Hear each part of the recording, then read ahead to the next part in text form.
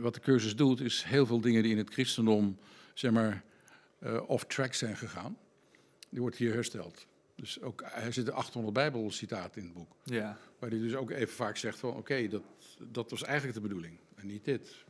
Leuk dat je weer kijkt of luistert naar deze nieuwe aflevering van de Podcast of Hope. We hebben het in veel podcasts al gehad over een cursus en wonderen, maar dit keer gaan we er echt diep op in. Met de persoon die dit inspirerende boek van kaf tot kaf kent. Het is schrijver en vertaler Willem Glaudemans. We gaan het hebben over hoe je door middel van je ego te doorzien, je jezelf kan verbinden met de liefde. Podcast of Hope, moving towards happiness. Nou, leuk dat je er bent. Ja, fijn. Ja, vind ik ook leuk. Ehm, onze podcast gaat over geluk, zoals je wellicht weet. Ja, ja. Is dat een onderwerp wat jou ook veel bezighoudt? Eh, uiteraard, eigenlijk mijn hele leven. Ja? Want ja, ergens heb je altijd iets van, je streeft naar geluk. Ja. En wat is dat dan precies? Ja, daar kun je heel veel definities op loslaten. En Hm. daar, daar leer je ook in al gaande je leven. Dan kom je steeds meer andere dingen tegen en denk van, oké, dit is nou echt een geluksmoment. Ja. Hij- Heel veel gasten zeggen bijvoorbeeld dat ze nooit eh, bewust met geluk bezig zijn geweest in hun leven, maar eh, voornamelijk onderbewust. Hoe, is dat bij u ook het geval of bent u wel je, je, graag. Je, excuses. Eh, Ik ben er eigenlijk Ja, wel. bewust mee bezig. Maar eh, eigenlijk denk ik vanaf mijn, ja, ergens 1985 of zo. hmm, Toen heb ik in 86 heb ik de cursus leren kennen. En dat is voor mij natuurlijk ja, de manier om geluk te gaan ervaren en te, te gaan zien waar het werkelijk over gaat. heb je de cursus leren kennen door een zoektocht naar geluk wellicht? Dus ook zou je het kunnen zeggen. Ik, ik zou het toen niet zo genoemd hebben. Hmm, Ik was katholiek opgevoed en ik vond daar niks. Dus ik ben op een spirituele zoektocht gegaan. En toen kwam ik uiteindelijk bij Elisabeth Kubler-Ross terecht. Iemand die met sterfsbegeleiding bezig was. En daar een workshop van gaf. En daar heb ik een, een godservaring gehad. Gewoon wam, dan me heen. En dat was ik dus aan het zoeken. En dat vond ik dus ook daar. En precies een jaar later vond ik de cursus. hmm. En dan had ik weer dezelfde ervaring door me heen. Ik, Oké, dit is het. En wat vond je daar dan in dat je niet in het christendom kon vinden? Oeh, zo. Waar je gelijk... Ja, dat, ja, waarom niet, toch? Nee, helemaal goed. Wat ik hierin vond, was de dingen waar ik, ik had met christendom allerlei vragen.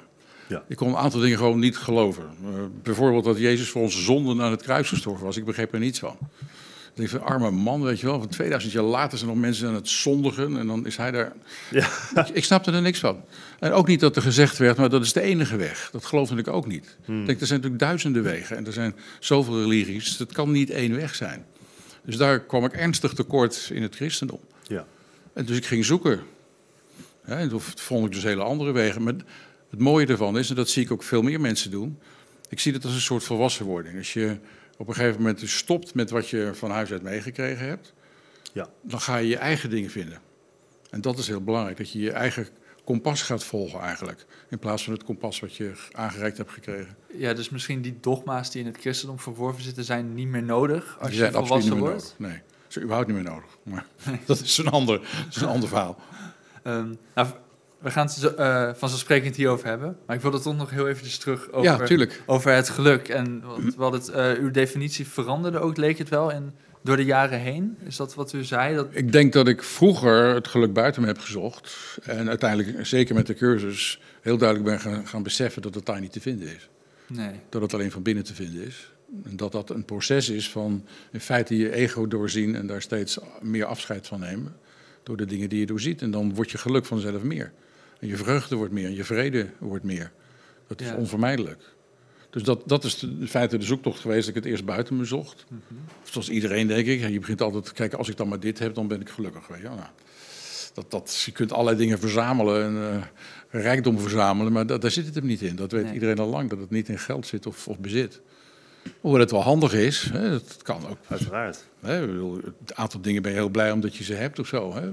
Gewoon ook praktisch gezien, maar daar zit je niet je wezenlijke geluk in. Ja, ja, misschien een verschillende vormen van geluk. Misschien is dat dat, dat ehm, externe meer welbevinden. eh, en, Ja, zo kun je het zeggen. en zou geluk dan meer in je zitten? Dat is zeker in je. Ja, Ja, dat is voor mij de, de enige plek waar geluk te vinden valt. in jezelf. In jezelf. We willen het natuurlijk proberen buiten ons te vinden, maar ja, daar word je nogal teleurgesteld. Dus echt geluk en welbevinden hebben dan helemaal niks met elkaar te maken?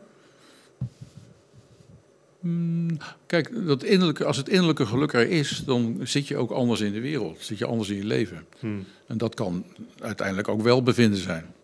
Ja. Hè? Ja. Of, of welzijn, of hoe je het noemen wil. Maar voor mij begint het wel van binnen en niet van buiten. Ja, plus als je bijvoorbeeld wel heel veel geld hebt, maar nog steeds niet dat innerlijke geluk, dan heb je Nee. niet veel aan het geld. Nee, dan, dan is nog steeds die Ja. innerlijke leegte en die moet gevuld worden door van alles. En steeds meer en steeds meer en steeds meer. Ja. En dan heb je al, al vijf eh, Rolls Royces staan of zo. En dan moeten er nog twee bij. Ja. Misschien ben ik bij zeven wel gelukkig in de ja, ja. Nee, ik, ik niet hoor. Je hebt er al, je hebt er al vijf dus. Ja, vier nog, maar Vier. Ik schiet al op. Ja. ik ben bijna gelukkig.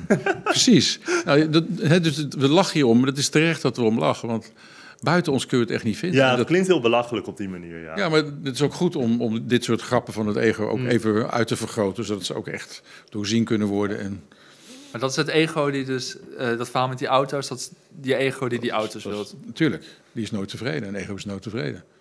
En die wil ook nog meer auto's dan de buurman. Hè? Ja. En, en ja, tuurlijk.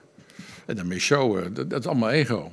En dat gaat niet over geluk. Dat is, dat is oppervlak, dat is buitenkant. ja. Dus is dan je ego misschien het tegenovergestelde van geluk? Zo zou je het kunnen definiëren. Ja, ik vind het geen gekke definitie. Voor een filosoof is dat heel goed. Oké, top. en, Als iemand eh, die bezig is met cursus in wonderen het over ego heeft, dan snap ik het nooit zo goed. Ja, omdat ik dat is zelf heel goed. Een, een, beetje een Jungiaanse conceptie Ja, van het... die, die ken ik ook. het. En dit, eh, de cursus die schrijft daar eigenlijk heel anders over. Ja, Dus een korte definitie zou je kunnen zeggen: het is de gedachte van afgescheidenheid. oké. En daarmee identificeer je en dat wordt dan je sta in het leven. Hm? Hm. Dus ik ben afgescheiden en daar zitten twee andere afgescheiden figuren. En dan moet ik ontzettend oppassen, want die gaan me dadelijk aanvallen. Dat is in feite de angst van het ego. Hmm. Dus die zet een muur om zich heen Hm. en moet dus gaan verdedigen. Die moet dat kleine koninkrijkje, wat illusie is, moet hij gaan verdedigen. En dan geef ik altijd het voorbeeld van... Het lijkt alsof een, een golfje in de oceaan voor zichzelf begonnen is. En doet alsof de oceaan er niet meer is. Ja, ja.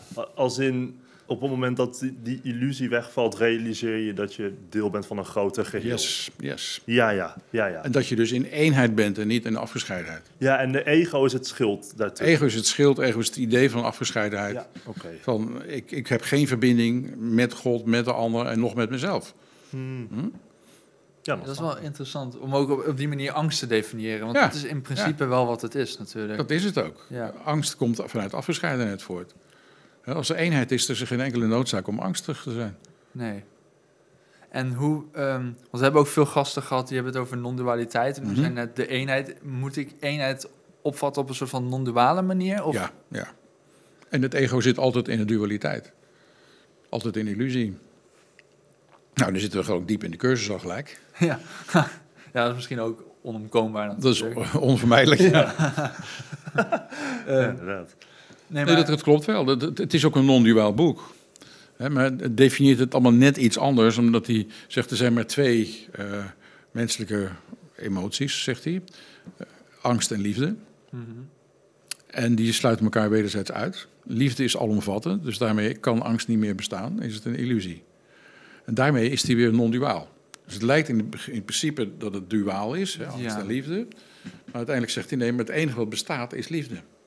En angst bestaat eigenlijk niet. En dan is het du- non-duaal.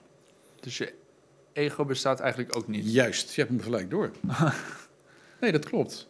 Zonder gekheid. Dat, dat, het kan alleen maar bestaan dankzij het feit dat wij het geloven. Op het moment dat wij stoppen met geloof in het ego, dan stopt het hele ding. En dat, is, dat, is, hè, dat, dat heb je dus heel veel lessen en dingen voor nodig om dat te kunnen gaan praktiseren. Maar dit is gewoon de, zeg maar de, de basis van het Ja. geheel. Een moeilijk concept om te bevatten. Hmm. Want aan de ene kant is er dus iets wat, eh, ja, wat we ons ego noemen. Ja? Maar eigenlijk is het er niet... we- Aan de andere kant bestaat het dus ook niet. Nee. maar je moet het wel weer dus naam geven om, het, Ja. om De te cursus- kunnen inzien dat het niet bestaat. Ja, heel goed. Ja. Wat de cursus daarover zegt, die zegt we doen alsof het ego bestaat, zodat we erover kunnen schrijven en het jou duidelijk kunnen maken waar die in je denkgeest aanwezig is. Dus we doen alsof. Hè? Maar hij zegt tegelijkertijd, het is betekenisloos. Mhm. En de enige betekenis die het krijgt is datgene wat wij eraan aan toekennen. Is er een reden dat men doet alsof het er is? Nou, we doen allemaal alsof het ego er is. We leven vanuit het ego 90% Ja. van de tijd. Ja, maar, maar waarom doen we dat dan?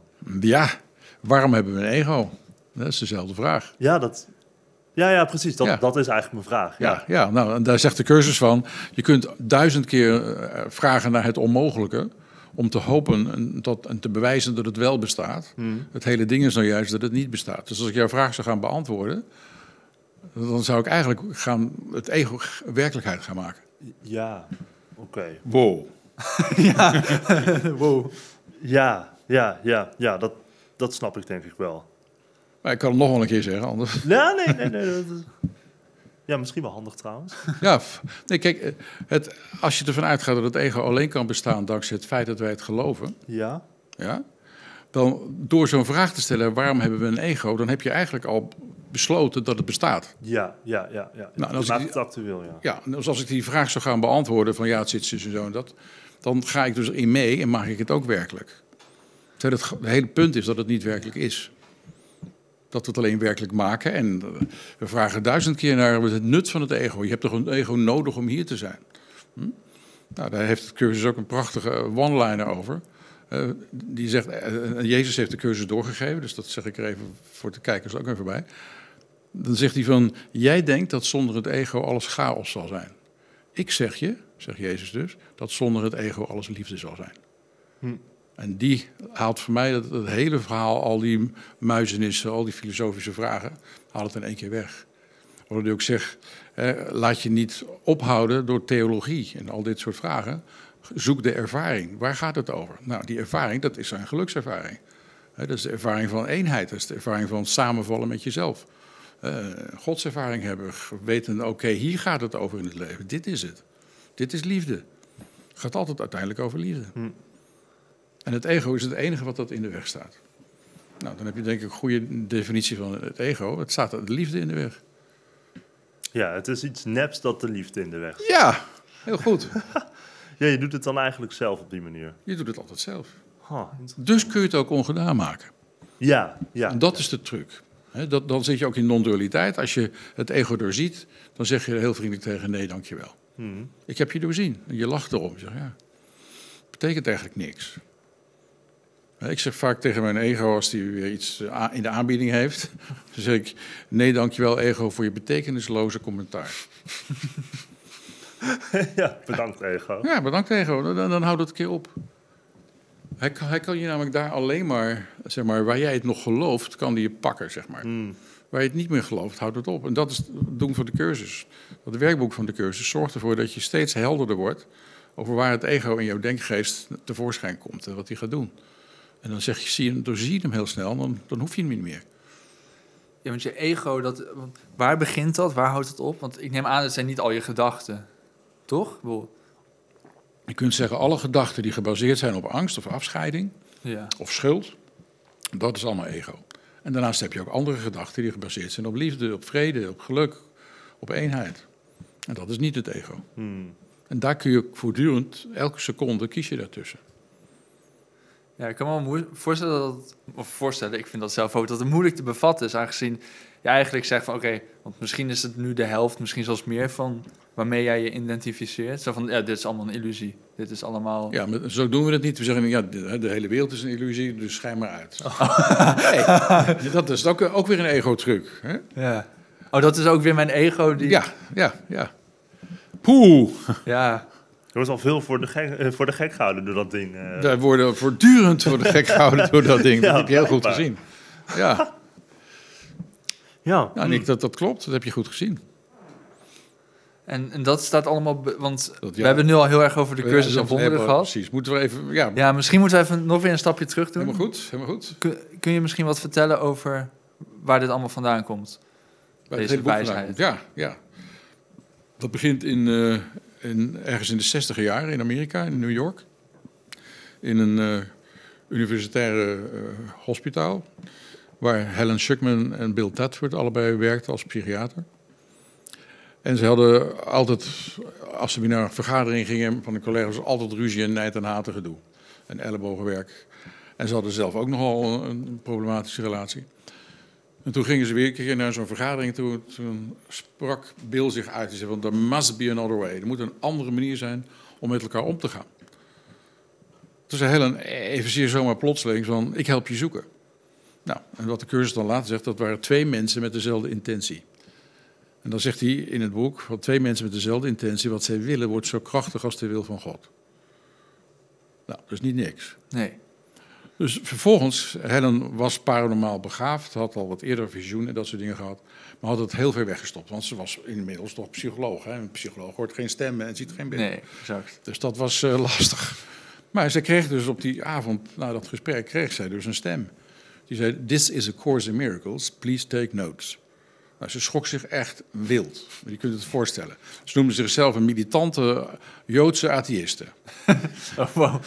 En hier kwam een stem door die zich op een gegeven moment ook zelfs ging kenbaar maken als Jezus. Ja, dat ja, was nog dat- erger. dat. Maar er werd letterlijk tegen haar gepraat in haar hoofd. dus. En het was, ja, ze, beschrijft het als een soort innerlijke bandrecorder die ze ook af kon zetten. Want ze kon ook tussendoor boodschappen doen en de telefoon aannemen. Echt? Dat is handig. Ja. Dan ging het gewoon weer verder. En dat heeft dus, eh, nou ja, wat er ge- gebeurde, dat zij dus Bill opbelde in paniek van, wat, wat er nou met mij gebeurt, ik word helemaal gek. Ja. Jezus, even stil, ik ga Bill opbellen. Voor, nou, toen wisten ze nog niet dat het Jezus Oh, was. toen hè. nog niet. Oké. Maar ze ging Bill bellen. En Bill was altijd heel nuchter, had heel veel humor. Dus ja, de enige manier om erachter te komen of je opgenomen moet worden omdat je stemmen hoort. Of dat het hè, is, is door maar op te schrijven wat die stem zegt. En dan komen we morgenochtend allebei vroeger naar kantoor.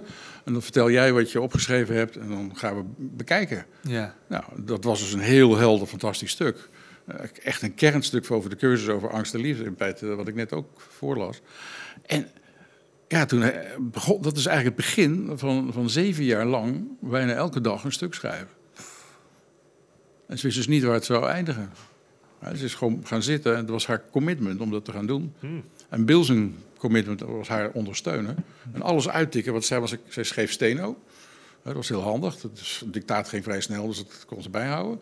En dan las ze het voor en Bill tikte het uit. En zo hebben ze dat zeven jaar lang elke dag gedaan. Fantastisch verhaal eigenlijk. Ja, en zo is het boek dus tot stand gekomen eh, als een stapel ordners. Ja. Ze had ook een keer een visioen gehad dat ze in een boot zat. En eh, dat was echt een visioen. Dan gleed ze over een riviertje. En ineens had ze het idee, hier ligt een schat ergens. En er lag, in die boot lag een grote punthaak. tussen. en ze haalden een schatkist omhoog, allemaal in het visioen. Ja. En dat was echt zo'n schatkist, als een schatkist eruit hoort te zien met kettingen eromheen en zo, en ja, wier en, enzovoort. Nou, ze maakten het open en tot haar grote teleurstelling zat er een zwarte ordner in, met Esculapius erop. Ze moest zelfs op gaan zoeken wat Esculapius betekende, de god van de geneeskunde in, in het Ja. Grieks. En, zo, ja, en er werd erbij gezegd, dit is jouw boek. Nou, die werd er niet blij van. maar goed, daarna kwam dus dit hele verhaal, van dat ze dus hè, inderdaad die stem kreeg, die ga, ga ging dicteren. En op een gegeven moment hadden ze dus een hele stapel zwarte ordners, waar dat hele boek in zat. Ja, toen gingen ze kijken, ja, wat moet er nu mee gebeuren? Ja. Nou, eerst kwam er nog een, eh, Ken Wapnick op het toneel, waar ik het straks eventjes met je over had. Ja. Die dus eh, eigenlijk van plan was om in een klooster in Israël in te gaan treden en monnik te gaan worden. En hij had zijn spullen in, in New York City had hij al achter zich gelaten. Hij was, en hij, op het laatste moment kreeg hij van iemand een paar bladzijden kopie van, van het boek. Hij las dat en hij was helemaal flabbergasted. En eh, hij zei, dit is mijn boek. Hij is nog wel naar Israël gegaan, maar niet om daar in te treden. Hij is weer teruggekomen en is, heeft eh, Helen en Bill opgezocht. En hij is degene geweest met wie Helen uiteindelijk het hele, al die steno aantekeningen nog een keer helemaal goed doorgenomen hebben. Om alle punten en komma's en hoofdstukindelingen, al Ja. dat soort dingen erin te doen. En ook stukken die persoonlijk waren voor Helen en Bill, voor hun persoonlijke relatie. Om dat eruit te halen, dat, om het gewoon leesbaar te maken voor een groot publiek. Ja, exact. Nou, toen hadden ze alles weer opnieuw uitgetikt. Ze hadden nog geen computers waar dat in kon, geen tekstverwerkers. Ze moesten allemaal opnieuw uitgetikt worden. Toen hadden ze weer opnieuw een stapel ordners. En toen gingen ze, ja, wat moeten we hier nou? Ze hadden wel het idee dat het niet helemaal voor hun bestemd was. Maar ze dachten niet dat het voor heel veel mensen op aarde zou zijn. Nou, dat hebben ze zich in vergist. Ja. Het zijn inmiddels miljoenen en miljoenen. Maar toen kwam er nog een, een, een derde persoon, op, op, of vierde persoon op het toneel. Dat was Judy Scotch. En Judy Scotch had een organisatie voor parapsychologisch onderzoek en een paar honderd mensen op de mailingslist. En zij had ook weer hiervan gehoord en ze werd uitgenodigd bij Helen en Bill om in de kantine van het restaurant van de universiteit te gaan zitten. En opeens zei ze van, jij krijgt Jezus door, hè? Nou, Helen die verschoot helemaal. Dus niet in die wetenschappelijke omgeving moest je dat niet Oh, tegen ja. haar zeggen natuurlijk, hè? Dus toen zei Bill, kom laten we maar naar onze kamer gaan. En toen zei Bill ook van, ja, weet je, Helen, laat het maar gewoon zien. Ze gaat het toch op een dag zien. Hè? Dus dat is die nuchtere humor van Bill. Want eh, het was in een afgesloten kast, hè? daar stond de cursus. Ja, goed, dat ding werd tevoorschijn gehaald. En Helen hetzelfde als met Kent, want boom. Je- Als je, ja, als je eh, ermee in aanraking komt en je ziet de waarheid en de kracht die erin zit, dan Ja. kun je niet anders dan eh, ons te boven gaan. En dat had jij ook. Dat had ik ook, klopt. Ja, Dat is eigenlijk onomkoombaar met dit boek. het is onomkoombaar, ja. En het, het, als je het echt wil, dan komt het ook echt op je pad. Nou, heren, het is op je pad. Ja, Ja, ik loop het eigenlijk ook een beetje uit te stellen om het te lezen. Ik heb het gevoel dat het best wel, eh, ik weet niet. Ehm, ik weet niet of ik er klaar voor ben. Ik weet niet of dat stom klinkt. Dat maar- klinkt heel stom. Ja? dat zegt weer ego. Nee, het, het grappige is dat, dat mensen er heel lang omheen draaien. Dat, dat begrijp ik. Het ligt vaak op nachtkastjes en dan ligt het al jaren. Ja. Of het, ze hebben het gekocht en het staat dan in de boekenkast en ze vergeten het. En op een gegeven moment valt het ding gewoon pardoes uit die boekenkast op hun hoofd. En dan hebben ze zoiets van, oké, misschien moet ik er iets mee. Hè, je kunt het uiteindelijk niet vermijden als het voor jou bestemd is, zeg ik dan. Als het niet voor jou bestemd is, dan laat het gewoon... het- En dat merk je ook meteen. Ja, want anders heb je al die vragen niet. Nee, oké. Oké, maar het kan dus wel dat het niet, dat het niet voor... Je hoopt dat, hè? Je hoopt dat je nog een uitweg hebt. Oh nee, Oh nee, zeker. nee joh. Want het klinkt, ik, Nee, nee, het klinkt geweldig. Ik zit je te plagen, nee. Maar ik vraag me dan af, hè, als dit dan de manier is om gelukkig te worden... en het is Ja. niet voor jou bestemd...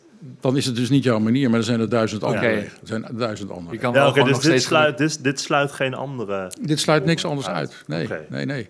Wat het doet is dat het ook letterlijk zegt: dit is een van de duizend wegen terug naar huis. Ja, En dat, dat betekent dus dat Ja. hij niet eh, competitief is naar andere richtingen. terug naar huis vind ik ook een leuke Ja, uitspraak. ja. Hij, hij zegt dus ook niet van: dit is de enige weg. Nee, het is een cursus. Het is bijna weg hier gesleten, maar ja, is veel een, gebruikt. Ja. een cursus, niet de cursus. We praten wel in zo'n korte vorm over de cursus, maar het is nog steeds een cursus. En het is ook compatibel met bijvoorbeeld andere levensbeschouwingen? Eh, de gnostiek kun je er mee, vergelijken. Ja, Ja, dat wilde ik vragen, Ja. omdat ook, eh, u had het over Jezus. Mhm. Ehm, maar het, het is het te zien als een soort van gnostisch werk, eh, als aanvulling op het christendom? Eh, je- eh, ze hebben het wel eens gezegd dat het een restatement of the New Testament is. Dus een her, her- her- hertaling van het Nieuwe Testament. Ik ben daar niet zo gelukkig mee met die, met die uitspraak. Ik zie wel dat er, eh, wat de cursus doet, is heel veel dingen die in het christendom, zeg maar, eh, off-track zijn gegaan. Die wordt hier hersteld. Dus ook, er zitten 800 bijbelcitaten in het boek. Ja. Waar hij dus ook even vaak zegt van, oké, dat, dat was eigenlijk de bedoeling. En niet dit. Hmm. Heb je misschien een paar voorbeelden? Of misschien één voorbeeld van waar het christendom off track is gegaan en de cursus dat weer rechtzet? Eh, bijvoorbeeld de kruisdood van Jezus, dat het absoluut geen eh, offer is voor onze zonde. Wat ik dus als klein jongetje ook al in de kerk niet Oh, dat wordt er ook in gezegd. gewoon letterlijk in gezegd in hoofdstuk 3 en hoofdstuk 6 wordt er een stuk daarover uitgeweid. Met ook bijbelcitaten erbij en wordt uitgelegd hoe het dan wel bedoeld is. Hoe is het al bedoeld? De, de kruisiging, daar zegt hij er letterlijk van, de boodschap van de kruisiging is teach only love, for that is what you are. Dus onderricht alleen liefde, want dat is wat je bent. Hmm. Dus dat gaat over uitstralen, dat gaat over ten diepste zijn wie je bent en dat uitstralen. Dat is wat anders dan dat je, eh, zeg maar, eh, je zonde moet gaan beleiden of zo. Het hele idee van schuld wordt hier echt onderuit gehaald. Wat natuurlijk in de katholieke kerk, in het Calvinisme, heel sterk is benadrukt. En dat verlamt ons. Dat verlamt ons geweldig. Dat je, als je schuldig bent, dan, dan durf je eigenlijk al niks meer. En, en 2000 jaar geleden, dat is, dat is ook teruggevonden in het Aramees. Jezus eh, sprak toen over katha en bisha. Dat waren twee termen die vertaald werden als kwaad en het zonde en schuld. Maar wat het eigenlijk was, was je, dat je met je pijltje op een roos schoot en je schoot mis. Hmm. En die, roos, die pijl kwam naast de roos in het zand terecht. Nou, dat werd met kwaad en dat andere met schuld vertaald. Oh. Het betekent niets anders dan je hebt het doel gemist. Oké, ja. Ik heb het doel gemist. Dat is schuldeloos. Hm? Nou, in het, in het Engels vind je dat in het, in het Onze Vader nog terug. Dan hebben ze het over trespasses. Dus je bent even van het pad geraakt. Hmm. En wij vertalen dat met schuld en schuldenaren. Nou. Ja. En dat, Dubbel gewicht erop heen. dubbel gewicht erop, verlammend. Nou, dan zeg ik altijd, Jezus was 2000 jaar geleden ook een hele goede psycholoog. Die heeft daar nooit over gehad, over doodzonde en dat soort gekkigheid. Dat is echt in het christendom erin gekomen om ons ja, klein en verlamd te houden, zeg ik dan. Ja. Ik weet nog ik vroeger in de katholieke kerk, eh, tijdens de mis, moesten wij op ons borst en op onze hartchakra slaan. Met mea culpa, mea culpa, mea maxima culpa. Dus door mijn schuld, door mijn schuld, door mijn grote schuld. Het is verschrikkelijk. Wat doe je met mensen daar? Hm? Je, je vernedert iedereen, je maakt iedereen klein, je verlamt iedereen. ja, en misschien wederom weer die angst. Het, het, is, het ego is in alle religies binnengeslopen. Nou, je Ja. kunt, als je één keer ziet wat het ego doet, dan zie je het in elke religie terug. Goed, elke? Ja? elke. Ja, dat Ja. durf ik echt te zeggen. Ook in het boeddhisme, ook in het hindoeïsme, in de islam. Lees de Koran. Ja, ja. Maar ook in een cursus en wonderen? Nee, want deze cursus gaat nou juist over het doorzien van het ego. Oké. En geeft u juist voorbeelden waar het in, in, in het katholicisme of in het christendom eh, binnen is geslopen. Ja, dus het kan, eigenlijk per definitie kan dat niet. In de cursus kan het niet, maar je kunt de cursus natuurlijk wel vanuit je ego lezen en Ja. daar weer iets mee gaan doen. Je kunt er ook weer een secte van maken als je zou willen. Eh, maar wordt, ehm, wordt bijvoorbeeld ethiek helemaal niet besproken in een cursus en wonderen? Ethiek in de zin van moraliteit bedoel je? Ja, en deugdzaamheid. eh, Door de cursus te doen word je dat vanzelf. Hij gebruikt die woorden niet, maar leert je te doorzien alles wat in, jou, in jouw binnenwereld de liefde in de weg staat. En als je dus steeds meer liefdevol wordt, dan leef je al gelijk ethisch. Oké. Ja, dus die deugden dus- komen een beetje voor uit liefde. Ja, maar dit is niet een, een issue in de cursus. Hij beschrijft het niet op die manier. Oh, interessant. Ja. Ja, dit is natuurlijk even. eh, Ja, precies. Het is heel veel, heel veel schakelen. ja. Nee, maar ehm, nog even over Bill en Helen. Ja. Vooral over Helen, want zij kreeg dus dit binnen van Jezus, werd haar Ja. ook verteld. ja. Ehm, dat ontdekte ze op een gegeven moment, omdat hij in de eerste persoon enkelvoud over de kruisdood begon. oh, echt? Dan weet je wie, wie aan de Oh, oké. Hij zei niet, ik ben Jezus, maar het was eigenlijk gewoon heel logisch. Eh, eh, heel rustig. Hij begon gewoon te dicteren. This is a course in miracles, please take notes. Help. Nou, ja. Nou, oké dan. Ja. Maar goed, werd Helen ook verteld wat ze met dit boek moest doen? In, die zin niet. Ze had een aantal vragen erover. Ze zei, wanneer weet ik dat het klaar is? Ja. Want ze zat gewoon midden in dat proces en ze wist niet wanneer het eindigen zou. Ja. Nee. Toen werd er gezegd als er amen wordt gezegd. Ja. ja. En dat kwam na zeven jaar.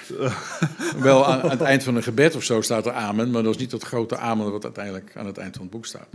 Dus dat is het eerste wat ze zei. Het tweede wat ze vroeg was, waarom heb je mij gekozen? Heb je niet, had je niet beter een of andere heilige non kunnen kiezen? Die kan het toch veel beter? En het antwoord was, maar jij doet het. En dat kon ze niet ontkennen, ze was al een aantal maanden bezig. Mm. En ze was heel erg eh, nauwgezet daarin. Want in het begin eh, dacht ze, ah, dat is een verkeerd woord. En dan veranderden ze er wat. En dan kwam ze honderd bladzijden later erachter dat het precies het goede woord was. En dat wist ze dus nog. En dan veranderden ze het weer terug in wat er oorspronkelijk stond. Dus zo nauwgezet was ze. En tegelijkertijd was er ook heel veel weerstand tegen. Ja. Hè, dus haar ego was ook heel groot bezig om, wil ik niet. ja, vooral als atheïst zijn. Als, je, als dit dan je overkomt. Een militante Joodse atheïst. Dan, Ja, krijg, je, militant zelfs, Ook nog. Ja. dan krijg je Jezus door, weet je. Oh, ja. Gekker kun je het niet krijgen. Maar dit boek daarom is wel... het- Oh, sorry? Nee, daarom is het zo, zo zuiver doorgegeven. Ja. Dat ze er zelf niet tussen ging zitten. Oh ja, dat, dat begrijp ik heel goed, ja. Maar dit boek is ehm, wel geschikt voor... Want er zijn tegenwoordig heel veel mensen die zichzelf, denk ik, als militant atheïst zouden eh, De meeste denk ik zelfs. Ja, de meeste, dan zou ik zeggen, ja, doe het. Ja? Ja, Want ik, ik heb het gevoel dat heel veel mensen, natuurlijk niet een beetje in de, in de bubbel van de podcast, maar er zijn wel heel veel mensen die bijvoorbeeld spiritualiteit, dat noemen ze zweverig, daar zit zo'n een negatieve connotatie aan. klopt. Ehm, Maar eh, praktische spiritualiteit, en dat is de enige spiritualiteit waarvan ik denk dat die klopt. mhm. Omdat het praktisch toepasbaar moet zijn. Dat is absoluut niet zweverig. Dat is echt hard werken aan jezelf. Ja, En dan kom je je ego echt naar alle kanten tegen. Dat is vaak ook wat mensen overkomt als ze het werkboek gaan doen van de cursus. De cursus bestaat uit drie delen. Een tekstboek met een filosofische achtergrond. Een werkboek en een handboek voor leraren. Nou, als je dat werkboek, dat is echt de kern van de cursus met 365 lessen. Als je dat gaat doen, kom je uiteraard je ego tegen.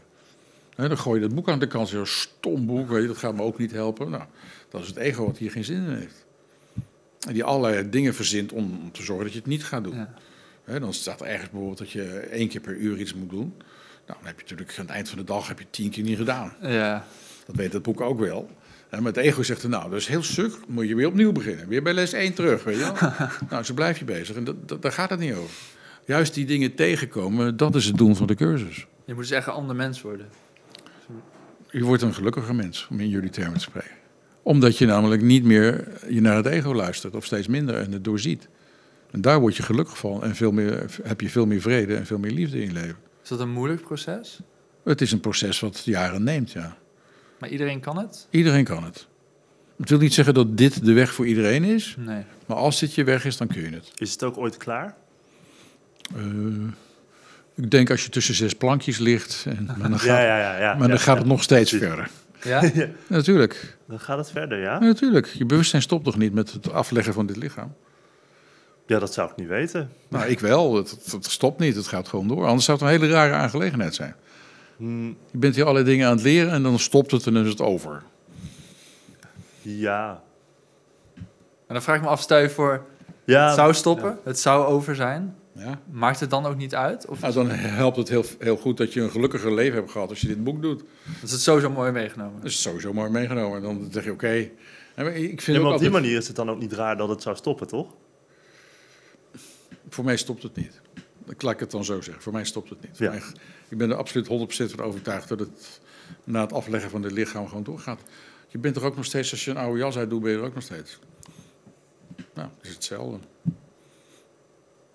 En op welke eh, manier zou ik dat moeten zien? Is het als het ware je ziel die onsterfelijk is? Op Ja, of je bewustzijn, je, je goddelijke kern, geef het een naam. Dat, die naam maakt niet uit. En is dat in elk geval of is dat Dat bijvoorbeeld bij net, iedereen, bij iedereen. ja, niet zoals bijvoorbeeld, eh bijvoorbeeld het hermeticisme, dat het alleen is als je in dit geval deze cursus zou doorlopen? Het is voor iedereen. En het is wel zo dat je door zo'n pad te gaan, je spiritueel ontwikkeld hebt. En dus ook waarschijnlijk op een andere manier zult sterven. Namelijk in minder angst bijvoorbeeld. Ja. Ik heb bijvoorbeeld echt geen dood- doodsangst. Nee, Dat heb ik gewoon niet. Om, ja, past gewoon niet in het plaatje of zo. Ik weet niet. eh. nee. Ja. Maar je vergeleek het met een oude jas uittrekken. ja, Eh, ja.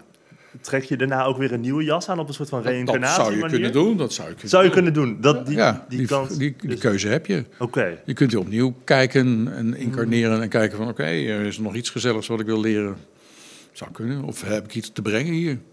Dat zijn een aantal redenen om opnieuw te incarneren. Hmm. En hoe je je op aarde gedraagt, is dat ook... Daar word je door God door ook- gestraft natuurlijk. Hè? Dat begrijp Ja, dat wil ik... Ja, bepaalt dat ook de jas die je... De tweede jas die je aankrijgt? Of, of ben ik nu te oppervlakkig aan het denken? Dat is een goede vraag. Je, in feite vraag je van... als ik nu braaf mijn best gedaan heb... Ja. kom ik dan op een hoger niveau weer opnieuw op aarde. ja, of andersom. Als je niet je braaf je best gedaan Ja, hebt... dan dat je kom dan, ik als een, eh, als een rat of zo. Ja. Nou, je incarneert niet als een dier. Oké, Dat geloof ik niet. nee. Hè? Nee, ik geloof zeker dat, dat je bewustzijn steeds verder ontwikkelt. En dat je daardoor ook op een steeds hoger eh, ding van de spiraal komt. Hè, dus je valt niet meer terug. Ook niet in een lagere dingen. Dus als je hier allerlei dingen ontwikkeld hebt en gewoon ja, aan jezelf gewerkt hebt, je spirituele ontwikkeling hebt gehad, dan kom je op een hoger niveau. Dat is onvermijdelijk. Alles, alles is gericht op groei. Ja. Ik kan me voorstellen dat die gedachte wel bijdraagt bij heel veel gemoedsrust. Dat dat... Ja. Kijk, en zelfs, zelfs hè, in mijn totaal onmogelijke geval, dat het leven na de dood niet zou doorgaan, dan heb ik toch een ander leven gehad en een gelukkiger leven door het wel te geloven. Ja. Ja, dat is ook heel veel waard natuurlijk. Ja. Tuurlijk, dan heb je sowieso al veel meer rust en veel meer vreugde en, en ook geluk. Ja. Toch? Ja. Ja, mooi. Geldt het ook voor andere levende organismen? Dat weet ik niet. Oké, ja. Er is ook bewustzijn en dat bewustzijn ontwikkelt zich ook. Hè. Ja. Dus evolutie is eigenlijk een evolutie van bewustzijn, altijd. Ja. Hè, dus ook in de fysieke vorm, hè, allerlei levensvormen die afsterven en nieuwe komen. Maar of, of dieren dit ook zo ervaren, dat weet ik niet. Is het Ja. ook een beetje die... U had het over duizend paden? Of Mhm. had ik dat goed Duizend wegen terug naar huis. Ja. Ja. Ja, ehm, is dit dan een beetje dat naar huis waar je naartoe aan het gaan bent? En Daar kan is dat... iedereen naartoe aan het gaan, of je nou bewust bent of niet. Er is een heel mooie uitspraak eh, Iedereen is onderweg naar het licht. De meesten met hun rug er naartoe, een enkeling met zijn gezicht. en dat laatste gaat natuurlijk veel sneller. Want die andere met die rug naar het licht, sta je alsmaar in je eigen schaduw te kijken. Ja. Dat schiet niet op. Dus op een gegeven moment komt er een moment dat je omdraait. Hè, die god van Plato. Ja, dat je op een ja, moest ik inderdaad ja, denken. precies van daar is het. Het is niet op die schemerwand waar al die schimmen zijn. Nee, het is daar. En dan draai je om en dan kom je eigenlijk, wat de cursus dan noemt, in de werkelijke wereld terecht. Ja, dus, dus die liefde is vergelijkbaar met een soort van ideeënwereld, als het ware. Ja, liefde is een, een idee, zo kun je het zeggen. Ja, Maar Kijk, voor mij, dit klinkt natuurlijk super vet. Ik zou heel graag onsterfelijk willen zijn. Dat misschien. ben je al. Maar dat ben je al. Maar, Ja. maar niet, niet in dit fysieke lichaam. Dat is de vergissing. Oké. Je bent onsterfelijk. Je bent, als God iets schept, hè, Hm. denk je dat hij dan iets schept wat tijdelijk is? Ja, lijkt me niet logisch. Nee, maar- nou klaar, dan heb je hem al. Als jij een schepping van God bent, en dan heb ik het niet over dit, dit stoffige jasje, Ja. wie je ten diepste bent, dus wie, je- hè, eh, werkelijk, wat werkelijk is, kan niet bedreigd worden. Dus dat kan niet ophouden. Wat je ten diepste bent, is door God geschapen en God schept alleen maar eeuwig en als zichzelf. Ja. Dus daarmee hebben we allebei, alle goddelijke eigenschappen hebben wij dus meegekregen in onze schepping. Inclusief creatie, inclusief liefde, inclusief waarheid, wijsheid, you name it. Ik kan me ook voorstellen dat het misschien ehm, mijn ego is die bang is om los te laten. Dat is het enige. Het- Alleen het ego kan bang zijn. Wie jij ten diepste bent, kan niet bang zijn. Ja. Oeh. Ja. In, in, eh, hè, dus eh, ook heel praktisch gewoon. Je kunt dus gewoon zien op het moment waar je bang bent, dat je dan naar het ego luistert. Je mag het op die manier dus ook bekijken van, oké, waar ben ik bang? Waar ben ik bang voor? Dan weet ik dat ik naar het ego luister. En dan denk ik bovendien dat ik het alleen moet doen. Dat is ook zo'n typisch iets van het ego. ja. Nou, als je daar doorheen gaat, je doorziet het, en je zegt dus nee, dankjewel ego, dan kom je in een, gelijk in een hele andere gemoedstoestand, een hele andere denktoestand terecht. Van, van, van geluk en vrede. ja. En dat kan dus heel snel gaan. En we hadden het er net al over, we hebben dus de liefde en we hebben de ego. Mhm. Dat zijn de basisemoties, ik weet niet of je het zou zo moeten noemen. Mhm. Maar daar komen volgens mij dus de andere emoties ook uit. Ja, Ehm, wat hoort er nou bij liefde en wat hoort er bij ego? Ik kan me voorstellen de negatieve emoties, maar ja noem ze maar. Noem ze maar. Ja, misschien boosheid. en, Ja. ehm, Twijfel, onzekerheid. Maar zitten daar Wanhoop, niet ook bepaalde zonden bij? Zoals bijvoorbeeld hoogmoed, ijdelheid? Die noemden we vroeger zonde, maar je kunt ze gewoon nu zeggen, het is een ego-truc. Ja. En alle positieve emoties zijn Ja. dan liefde. Ja. Je kunt, ze gewoon, je kunt ze gewoon naast elkaar zetten. Je kunt een lijstje maken met alle dingen van het ego. Een lijstje maken met alle dingen van de liefde. En daarboven kun je een, een cirkeltje tekenen met het woord ik erin. Waar je ziet, daar kies ik. Dus het ego doet alsof wij alleen maar ego zijn. Dat onze identificatie alleen bij het ego ligt. Ja. Nou, daarom begint de cursus steeds tegen je te zeggen: kijk naar het ego. Dus je kunt niet naar iets kijken waar je in zit, je kunt alleen naar iets kijken waar je buiten staat. Hm? ja. Dus op dat moment val je er al niet meer mee samen. Dus je identificatie is al los.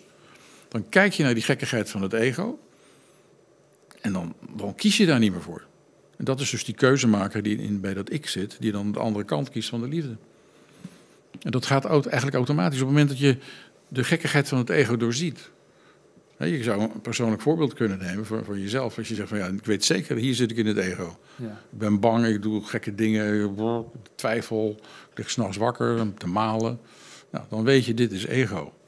Op het moment dat je daarnaar gaat kijken en met liefde ernaar kijkt, of met wat de cursus dan noemt met de Heilige Geest samen, dat is gewoon een term. Je kunt ook zeggen met een gestalte van licht of met liefde of met mededogen.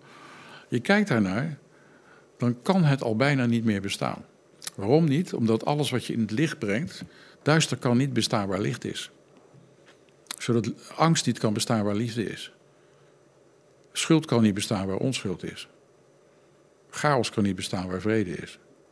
Nou, dat zijn hele eenvoudige principes. ja. En daarom zegt hij, licht straalt alle duisternis weg. Dus daarom zegt hij ook, breng die gekkigheid van het ego letterlijk in het licht. En als je dat doet en je laat het licht erop stralen, dan zie je zo'n ego-verhaal waar je ongelooflijk in geloofd hebt, zie je onder je ogen verdampen. Het kan hardnekkig zijn, misschien moet je het wel tien keer in het licht brengen. hm? Maar in principe verdwijnt het.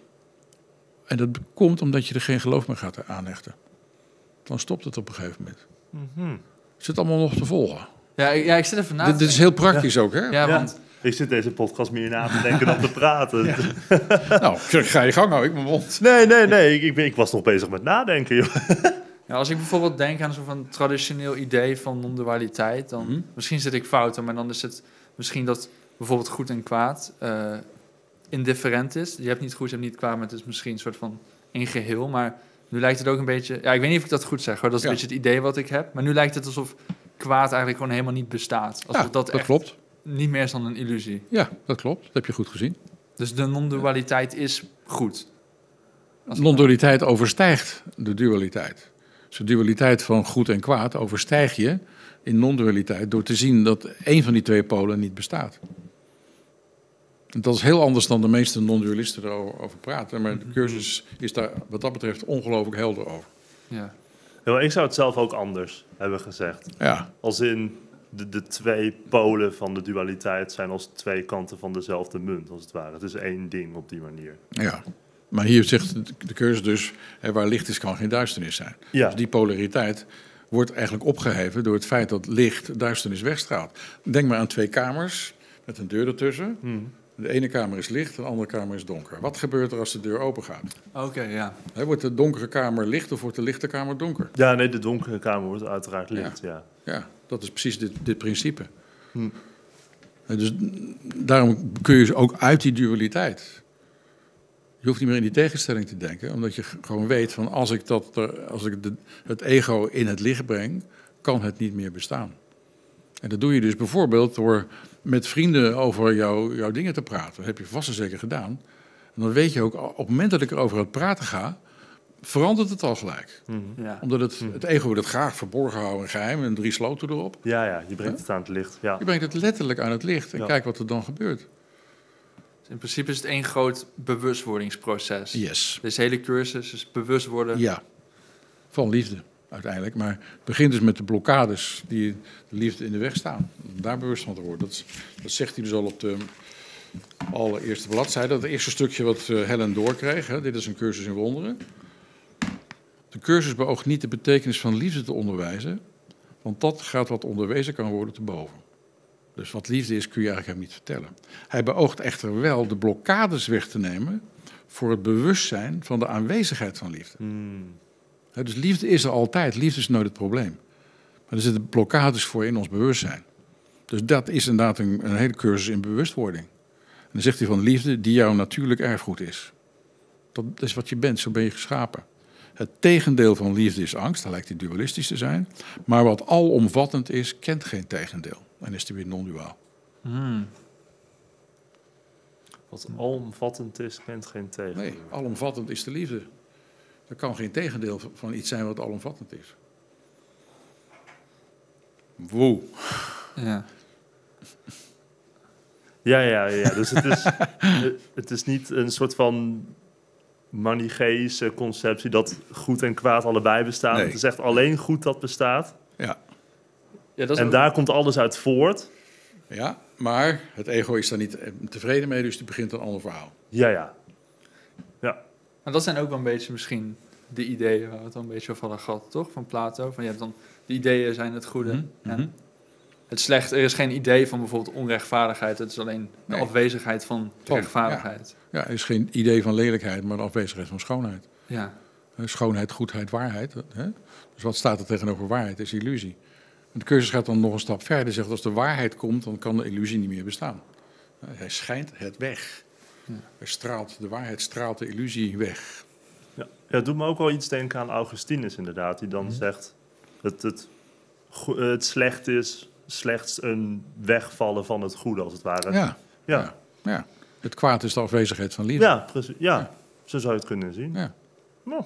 Het valt wel steeds meer samen. Ja, ja, ja, dat, dat heb ik dus ook. Ja. T- toen ik inderdaad het gesprek inkwam, wist ik al niet eens wat er werd bedoeld met het ego. Maar nu, eh, Nou, je hebt al snel bijgeleerd. ja, ja, ja, ja.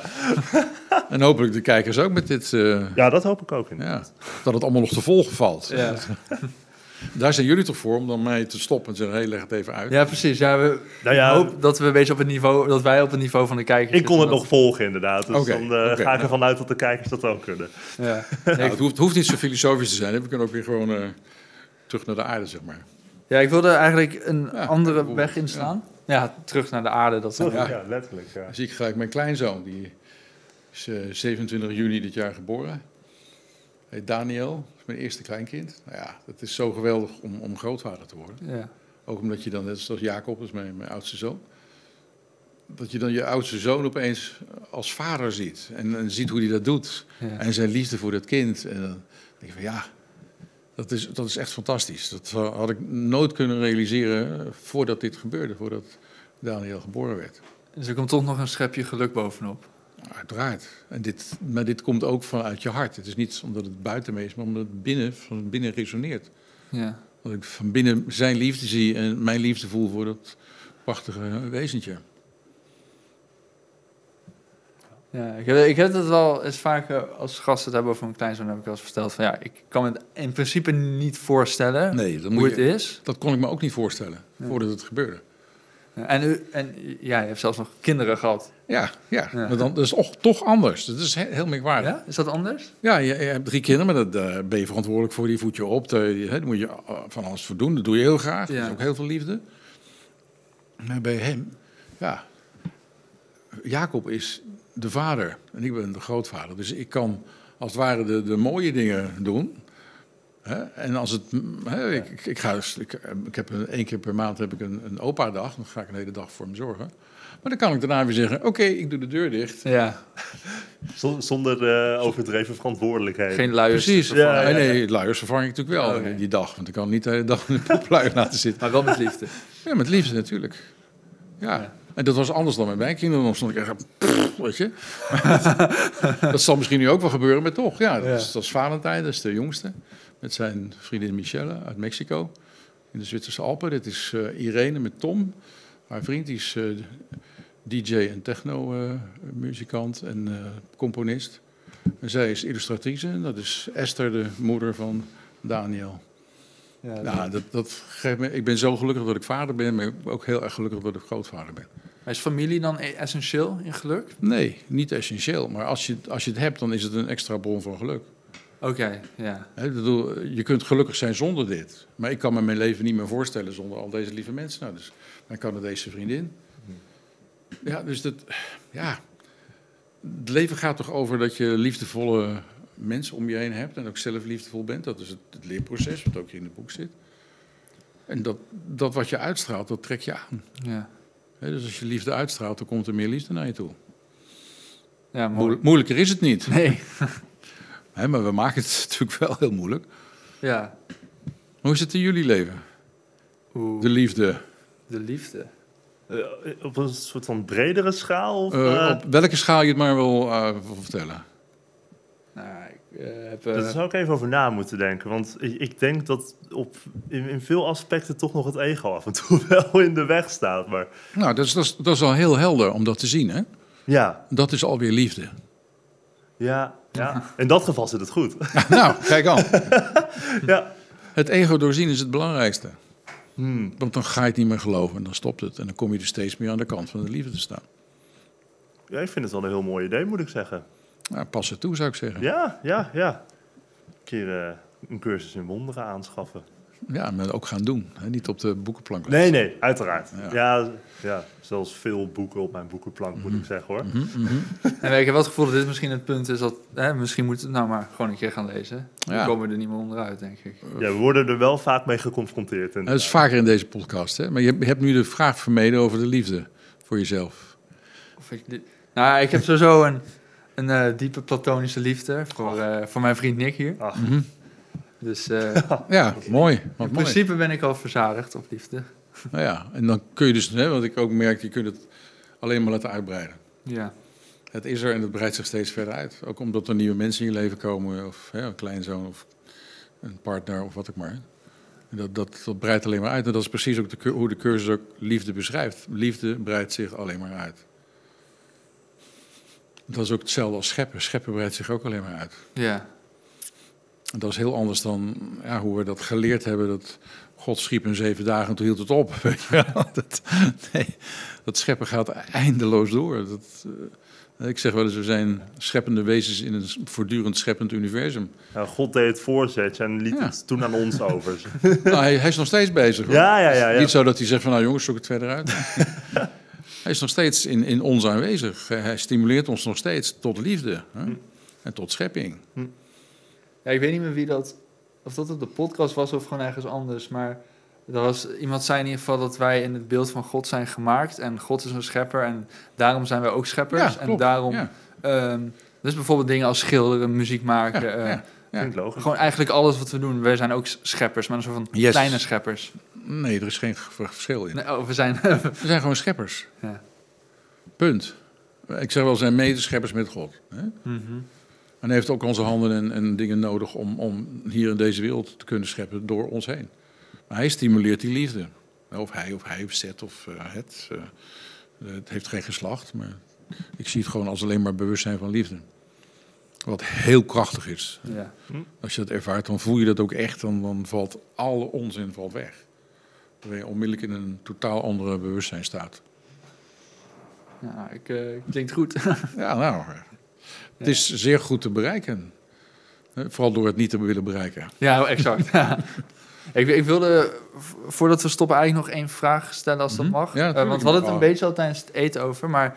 ehm, ehm, want we zeiden al dat we eigenlijk uw naam kenden via de Nag Hammadi Ja, geschriften. Ja, ja. Eh, en ik, ik, ik vroeg me af hoe, dat, hoe die geschriften zich verhouden tot de cursus en wonderen. Eh, en waar, want u heeft ze allebei vertaald. ja. Eh, en misschien voor de luisteraar, het werd in 1945, dacht ik, een kruik Ja, gevonden. dat klopt. In 1945 werd een kruik gevonden door een boer die naar teelaarde aan het zoeken was en met zijn schep op iets geks stoten. Ja. Iets veel mooiers gevonden dan de jaren. Ja, precies. maar hij vond het niks. Nee, nee. Hij, hij, hij ging ermee naar zijn imam en die zei, oh, dat is iets van die christenen, is voor ons waardeloos. en het allergekste was dat eh, hij had een veten en hij zat in de gevangenis en zijn moeder zat met die geschriften, die had hij uit de kruik gehaald, thuis en ze kreeg het koud. Dus ze ging het vuur aanmaken met Oh nee. Dat kun je ook vaak zien dat er dus. hè, Het waren dus gewoon papierensboeken, die waren gewoon net als een boek ingebonden. Ja. Dus aan, aan de, de kant van waar het band zat, daar was nog wat over en hier was het weg. Dus we moesten vaak heel erg raden wat hier nog gestaan had. Is er Ja. veel verloren gegaan? Dat- Er is best wel veel verloren gegaan, maar het wonder is dat er erg veel overgebleven is. Ja, dat is misschien een mooiere manier om ernaar te Ja. kijken. Maar eh, eh, het voelt wel pijnlijk als je dat zegt. Dat het gewoon, al die wijsheid gewoon in het vuur is gegooid. Ja, maar dan denk ik nog, er is zoveel wijsheid overgebleven. En ik denk ook dat het pas gevonden kon worden toen ons bewustzijn er echt aan toe was. Hmm. Ja.